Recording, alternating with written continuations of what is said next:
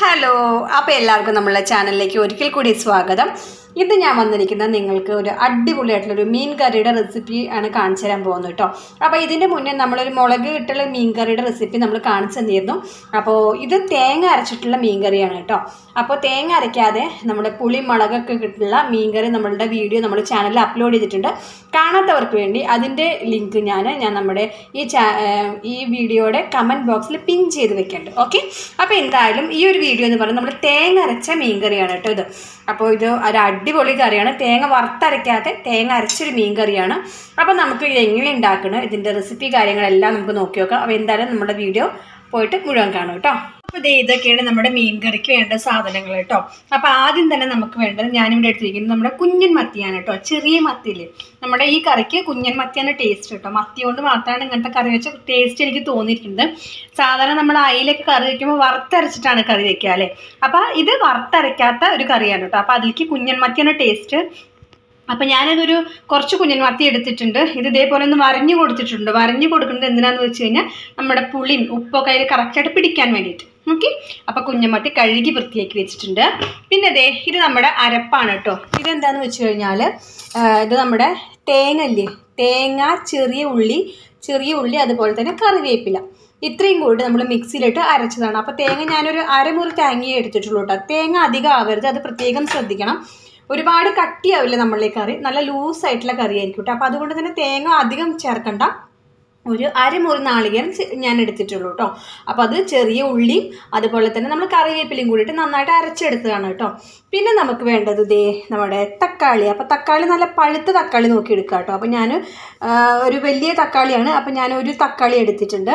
ഇത് നമ്മുടെ പച്ചമുളകും കറിവേപ്പിലയാണ് കേട്ടോ പച്ചമുളക് ഇതേ ഇതേപോലെ നെടുകെ കീറിയിട്ടെടുക്കുക. അപ്പോൾ ഇത് കുറച്ച് എരി കുറഞ്ഞ പച്ചമുളക് ആയതുകൊണ്ട് ഒരു നാലഞ്ചെണ്ണം ഞാൻ എടുത്തിട്ടുണ്ട്. നല്ല എരിവുള്ളതൊക്കെ ആണെങ്കിൽ ഒരു രണ്ടെണ്ണം എടുത്താൽ മതി. ചീനമുളക് ഉണ്ടെങ്കിൽ നിങ്ങൾക്ക് ചീനമുളക് ചേർത്തോളൂ കേട്ടോ അതാ കുറച്ചും കൂടി ടേസ്റ്റ് കിട്ടും അപ്പം ഞാനിത് കറിവേപ്പില പിന്നെ നമ്മുടെ ടേസ്റ്റ് മേക്കറാണ് നിങ്ങൾ അളവിനനുസരിച്ച് കറിവേപ്പില എത്ര വെച്ചെങ്കിൽ എടുക്കാം കേട്ടോ പിന്നെ നമുക്ക് വേണ്ടത് നമ്മുടെ പൊടി ഐറ്റംസ് അതായത് നമുക്ക് മഞ്ഞൾപ്പൊടി വേണം മുളക് പൊടി വേണം പിന്നെ നമുക്ക് വേണ്ടത് ഉപ്പ് ഉപ്പ് പാകത്തിന് വേണം. അതുപോലെ നമ്മൾ പുളിങ്ങ വേണം കേട്ടോ. പുളി നമ്മൾ ഇത് ഈ കറിക്ക് നമ്മൾ കുടംപുളി ഉപയോഗിക്കില്ല. നമ്മുടെ വാളൻ പുളിയാണ് നമ്മൾ ഉപയോഗിക്കുന്നത്.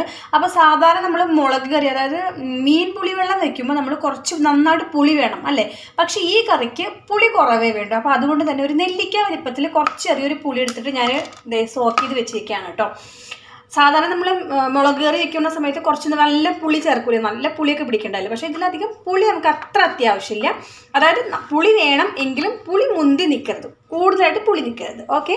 അപ്പോൾ ഇത്രയാണ് നമ്മുടെ സിമ്പിളായിട്ടുള്ള നമ്മുടെ തേങ്ങ അരച്ച സ്പെഷ്യൽ മത്തിക്കറിക്ക് വേണ്ട സംഭവങ്ങൾ കേട്ടോ. അപ്പോൾ എന്തായാലും നമുക്ക് ഇതിന്റെ എങ്ങനെ തയ്യാറാക്കണം നമുക്ക് നോക്കി നോക്കാം. വളരെ സിമ്പിളായിട്ട് പെട്ടെന്ന് തയ്യാറാക്കാൻ പറ്റും. ഓക്കെ? അപ്പോൾ നമുക്ക് ആദ്യം എന്ത് ചെയ്യാം? നമുക്ക് നോക്കാം. ഞാൻ ഇതേ മൺചട്ടി അടുപ്പത്ത് വെച്ചിട്ടുണ്ട്. മൺചട്ടി അടുപ്പത്ത് വെച്ചിട്ട് അതിലേക്ക് നമ്മൾ പുളിയില്ലേ? പുളി പിഴിഞ്ഞ് ഒഴിച്ചിട്ടുണ്ട്. അതിലേക്ക് നമ്മുടെ തക്കാളി ചേർത്ത് കൊടുത്തിട്ടുണ്ട്.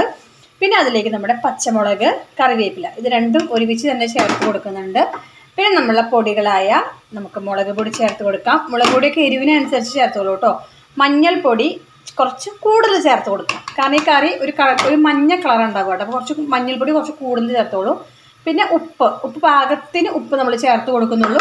നമുക്ക് കുറവാണ് തോന്നുകയാണെങ്കിൽ പിന്നെ പിന്നീട് നമുക്ക് ചേർത്ത് കൊടുക്കാം. അപ്പോൾ ഇത്രയും സംഭവങ്ങൾ ചേർത്ത് അപ്പോൾ നിങ്ങൾ വിചാരിക്കുന്നുണ്ടാവില്ല ഇതിൽ വെള്ളം കുറവാണെന്ന്? ശരിയാണ് വെള്ളം കുറവാണ്. അപ്പോൾ നമുക്ക് കുറച്ച് വെള്ളം കൂടി ഒഴിക്കാതെ അപ്പോൾ അതേ നമ്മളിനി കുറച്ച് അധികം വേണ്ട കേട്ടോ. നമ്മൾ ആ പുളി തിളയ്ക്കാനുള്ള വെള്ളം പുളി അതുപോലെ തന്നെ നമ്മളുടെ തക്കാളി അല്ല സോറി ആ സോറി തക്കാളി അതുപോലെ തന്നെ നമ്മുടെ പച്ചമുളക് ഇതൊക്കെ ഒന്ന് വെന്ത് വരണ്ട പൊടികളൊക്കെ. അപ്പോൾ അതിനുള്ള വെള്ളം മാത്രം ഒഴിച്ചു കൊടുത്താൽ മതി കേട്ടോ അപ്പോൾ എന്തായാലും ഇത് നന്നായിട്ട് ആ, ഇത് എന്റെ അമ്മയുടെ ഒരു സ്പെഷ്യൽ കറിയാണ് കേട്ടോ എന്റെ അമ്മ വീട്ടിലുണ്ടാക്കുന്ന ഒരു കറിയാണ്. നമ്മൾ ഈ കുഞ്ഞന്മാർക്ക് നമ്മൾ തേങ്ങ അതായത് തേങ്ങ വറുത്തരച്ചിട്ടൊക്കെ വെക്കാറുണ്ട് അമ്മ. ഇത് തേങ്ങ തേങ്ങ നമ്മൾ വറുത്തരയ്ക്കാതെ വെക്കുന്ന ഒരു കറിയാണ് കേട്ടോ അതുപോലെ തന്നെ എന്റെ അച്ഛന്റെ വീട്ടിലൊക്കെ വെക്കുന്ന ഒരു കറിയാണ് കേട്ടോ നല്ല അടിപൊളി കറിയാണ്. ഭയങ്കര ടേസ്റ്റാണ് ഞാൻ ഇടയ്ക്ക് ഇത് ഉണ്ടാക്കും അപ്പോൾ നിങ്ങൾ ട്രൈ ചെയ്ത് നോക്കി നോക്കൂ കേട്ടോ. നമ്മളെ കുഞ്ഞമ്മത്തി തേങ്ങ അരച്ച് കറി വയ്ക്കാം പക്ഷേ ഈ തേങ്ങ അരച്ച കറി കുഞ്ഞമത്തിക്ക് ടേസ്റ്റ് ഉള്ളൂ കേട്ടോ. അപ്പോൾ അയില അങ്ങനെയുള്ള കുഞ്ഞന്മത്തി നമ്മുടെ ചൂടുണ്ടാവില്ലേ? ചൂടയ്ക്കൊക്കെ നല്ല ടേസ്റ്റ് ആയിരിക്കും. ഇങ്ങനെ തേങ്ങ അരച്ച് വെക്കുന്നത്. വറക്കാതെ. തേങ്ങ വറുത്തരയ്ക്കാതെ ഇത് രീതിയിൽ നമ്മളെ ചൂട നെത്തോലി എന്നൊക്കെ പറയില്ലേ? കുഞ്ഞിമീൻ. അതൊക്കെ നമുക്ക് വയ്ക്കാം അതുപോലെ മാന്തൾ. അങ്ങനെ സംഭവങ്ങളൊക്കെ വയ്ക്കാം കേട്ടോ. പക്ഷേ അയിലെന്ന് വെച്ചാൽ അത്ര ടേസ്റ്റ് കിട്ടില്ല. അപ്പോൾ എന്തായാലും നമുക്ക് എന്ത് ചെയ്യണം? ഇതൊന്ന് തിളയ്ക്കണം. അപ്പോൾ അതൊന്ന് തിളയ്ക്കുന്ന നമുക്കൊന്ന് വെയിറ്റ് ചെയ്യാം. അതേ നമ്മുടെ പുളിവെള്ളം അതേ നന്നായിട്ട് തിളച്ച് വന്നിട്ടുണ്ട് കേട്ടോ. കണ്ടോ? നല്ല രീതിയിൽ തിളച്ച് വന്നിട്ടുണ്ട്. ഒന്ന് കുറുകിയിട്ടുണ്ട്. ഓക്കെ ഇനി നമ്മൾ ഇതിലേക്ക് ചേർത്ത് കൊടുക്കാൻ പോകുന്നത് എന്താണെന്നറിയോ? സാധാരണ നമ്മൾ നമ്മളെ മത്തിയാണ് ചേർത്ത് കൊടുക്കുക. പക്ഷേ നമ്മൾ ആദ്യം ചേർത്ത് കൊടുക്കണം ഈ അരപ്പ് ചേർത്ത് കൊടുക്കുകയാണ് കേട്ടോ ഞാൻ കണ്ടോ? ഈ തേങ്ങ അരപ്പ് അതായത് തേങ്ങ അരച്ചതില്ലേ നമ്മൾ തേങ്ങയും ചെറിയ ഉള്ളിയും അതുപോലെ തന്നെ കറിവേപ്പിലയും ഇത് കൂടി അരച്ചത് നമ്മൾ ഇതിലേക്ക് ചേർത്ത് കൊടുക്കാം. ചേർത്ത് കൊടുത്തിട്ട് ഇനി വെള്ളം ചേർക്കണ്ട കേട്ടോ. ഇപ്പം നമ്മൾ വെള്ളം ചേർക്കുന്നില്ല. ഓക്കെ ഇനി ഇത് നന്നായിട്ടൊന്ന് തിളയ്ക്കണം. നമ്മുടെ തേങ്ങ അരപ്പ് നന്നായിട്ടൊന്ന് തിളയ്ക്കണം. അപ്പോൾ അത് തിളയ്ക്കുന്നത് വരെ നമുക്കൊന്ന് വെയിറ്റ് ചെയ്യാം. ഓക്കെ? അപ്പോൾ ദേ നമ്മുടെ അരപ്പൊക്കെ നന്നായിട്ട് എന്താ പറയുക തിളച്ച് വന്നിട്ടുണ്ട് കേട്ടോ. ഇപ്പം തന്നെ നല്ല സ്മെല്ല് എടുക്കുന്നുണ്ട് കേട്ടോ. നമ്മുടെ ചെറിയ ഉള്ളിയുടെയൊക്കെ നല്ല മണം എടുക്കുന്നുണ്ട്. അപ്പോൾ ആ, നമ്മളെ കറിയിൽ നമ്മുടെ അരപ്പ് ഏകദേശം നന്നായിട്ട് തിളച്ച് വന്നിട്ടുണ്ട്. ഇനിയാണ് ഇതിലേക്ക് നമ്മൾ എന്ത് ചേർത്ത് കൊടുക്കാൻ പോകുന്നത്? നമ്മളെ ഭംഗിയുള്ള നമ്മൾ വരഞ്ഞു വെച്ചിരിക്കുന്ന നമ്മുടെ മത്തിക്കുട്ടന്മാരുണ്ടല്ലോ. അവരെ നമുക്ക് ഓരോരുത്തരെയായിട്ട് ഇതിലേക്ക് ഇട്ട് കൊടുക്കാം. ആ നമ്മുടെ മത്തി വരഞ്ഞത് എന്തിനാന്ന് വെച്ച് കഴിഞ്ഞാൽ ആ പുളിയും അതുപോലെ തന്നെ ആ മുളകും ആ എല്ലാം അതിൽ പിടിക്കാൻ കുറച്ചും കൂടി ടേസ്റ്റ് കൂടും. ഉള്ളിലേക്ക് കയറാൻ വേണ്ടിയിട്ടാണ് കേട്ടോ ഇതേപോലെ കണ്ടോ? നല്ല ഭംഗിയിൽ വരഞ്ഞ് കൊടുത്തിരിക്കുന്നത് അപ്പോൾ ഇതേ നമ്മുടെ മത്തിക്കുട്ടന്മാരെ നമ്മൾ ഇതേപോലെ ഇട്ട് കൊടുക്കുക.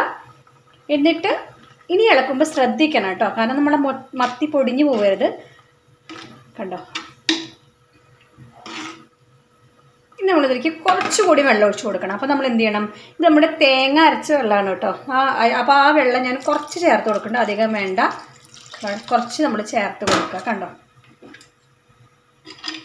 ഇത്രയും മതി. ഇത് എന്തിനാ വെച്ചെങ്കിൽ നമ്മളെ മീൻ നിന്ന് വേവണല്ലോ. അപ്പോൾ അതിനുള്ള വെള്ളമാണ് കേട്ടോ. അപ്പോൾ നമ്മൾ ഉപ്പും കാര്യങ്ങളൊക്കെ നോക്കി കൊടുക്കുക. അപ്പോൾ സ്വല്പം ഉപ്പ് കുറവാണ്. അപ്പോൾ ഞാൻ കുറച്ചും കൂടി ഉപ്പ് ചേർത്ത് കൊടുക്കുന്നുണ്ട്. എന്നിട്ട് നമുക്ക് ഇനി ഇതൊക്കെ തിളച്ചിട്ട് ഉപ്പ് കുറവാണ് തോന്നുകയാണെങ്കിൽ നമുക്ക് വീണ്ടും ചേർത്ത് കൊടുക്കാം.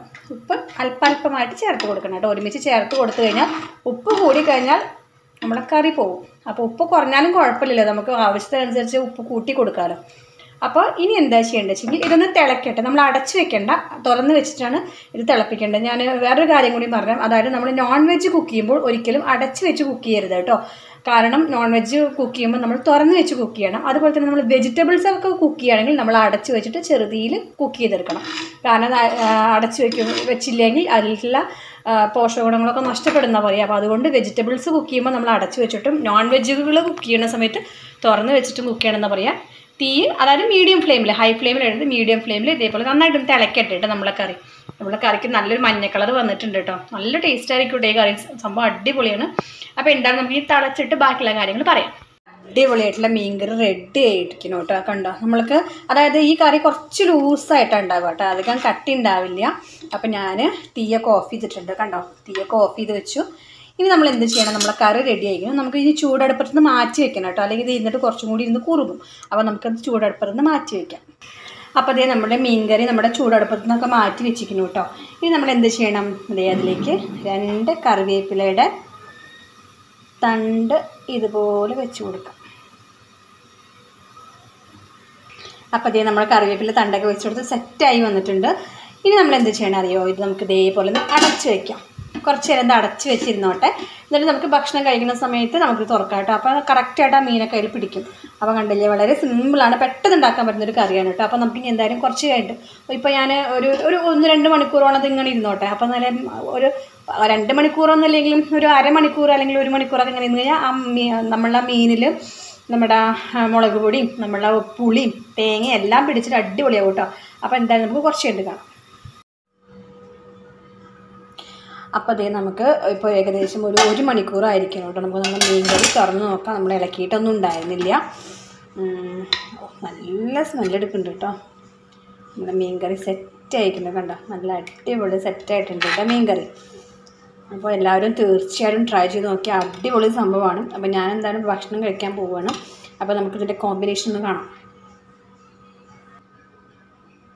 അപ്പോൾ അതേ ഞാൻ ചോറ് എടുത്തിട്ടുണ്ട്. അപ്പോൾ ഞാൻ കൂട്ടത്തിൽ മത്തി കുറച്ച് കുഞ്ഞമത്തി ഉണ്ട് അത് വറക്കും ചെയ്തു കേട്ടോ അപ്പോൾ കുറച്ച് ഭംഗിക്ക് വേണ്ടി കുറച്ച് ബീറ്റ്റൂട്ടിന്റെ ഉപ്പേരിയും കൂടി വെച്ചിട്ടുണ്ട്.